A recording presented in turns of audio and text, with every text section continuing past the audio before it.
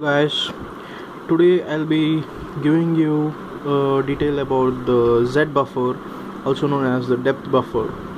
Okay. You can in depth go through the textbook. So I'll be giving you I'll be covering up only for the exam point of view. Okay. Uh, Z buffer. Uh, till now we have learned the two-dimensional figure figures like x and y positions with uh, it may be a square rectangle or anything else with two-dimensional axis x and y. Okay we write it using write pixel of x comma y which represents the coordinates. Okay.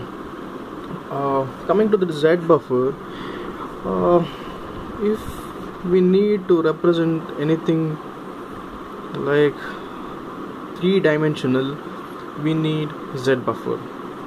Z axis is the main.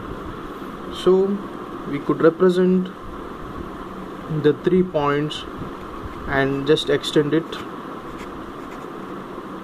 We will get a 3d model. Okay. We have a frame buffer and a z buffer in the Z buffer. The frame buffer the frame buffer is used to store the x and y value uh, as well as the color uh, which will normally be indicated as 0 because it's RGB red green and blue. Okay. Mm, we write it something like this. Write pixel of x comma y comma color in the frame buffer. Okay. It can be something like the x-axis 15 20 and 0 or anything anything. But within the limits.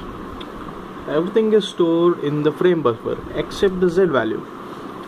So we use z buffer to store the z values. Only the z values okay. Now consider x y and z. We have an object over here and one more object over here. Okay. This is 0 comma 0 in if you have to show this in the 2d model 2d graphically it will be representing as something like this. Okay. But taking this as a 0 comma 0 it will be representing as this. You need not want this figure's z value to be stored. So we use we if we have only one figure we can take the z if we have only one figure we can take the z value of this thing. Like we can store it as 0 comma 0 if we store this and we need to also represent this this figure consider A and consider B. This figure we need this Z value. It may be um, like uh, uh, okay any value take any value and store it here in the Z buffer. This will be erased so that this this is upon this. Object B is upon object A. So we need not want Z axis of the uh, object A which appears something like this. We we need only z axis of this. Okay I'll redraw it.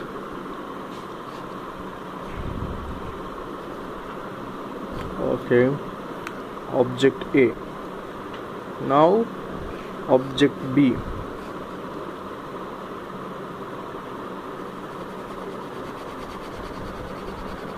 Object B. And this is oh, shit man this is object A. The computer shows only this this. Object B which is overlapping object A. So there will be no possible way to show A because it's already overlapping on the uh, object B. Okay. Uh, I'll explain you the pseudo code for Z buffer. I have already written the pseudo code for Z buffer. Let me explain you this. Okay these are the loops which should be with uh, less than maximum less than okay this is to write the uh, uh, as I mentioned earlier this is the BG is the color. Okay X and Y uh, this is to be stored in the frame buffer. Okay for each polygon's projection for each polygon's projection uh, uh, frame okay for each pixel this is to draw the polygon we are doing this uh, pz is a z value at the pixel. This is to be stored in the z buffer. Z buffer pz okay colors polygon pixels pz write z which will write the z axis. Okay. Uh, this this if condition is because whenever there is an object above the like it's overlapping on another object here it the execution comes over here. And again it's cleared and uh, the z value is stored in the buffer buffer. Okay this is the plane equation. Ax plus by plus c plus z d is equal to 0 okay let's take it as z. Z1 is equal to shifting all these to the right side. We'll be getting this. And uh, yeah. Yeah. Uh, here. Yep. As we know that x is equal to x plus de delta x substituting x here we'll be getting this. Uh, and um, multiplying it inside. Okay. Uh, and this is z1 so let's consider this as z1 okay? Z1 and z is equal to z1 minus de uh, uh, a delta x by c. Which here. There is something wrong in here. Okay. What are the disadvantages of the algorithm? In the frame buffer the value can be repainted. It's expensive. Okay thank you guys this is my first video.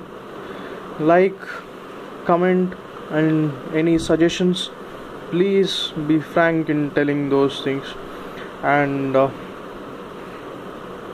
I'll be continuing this next post as much as possible. Thank you guys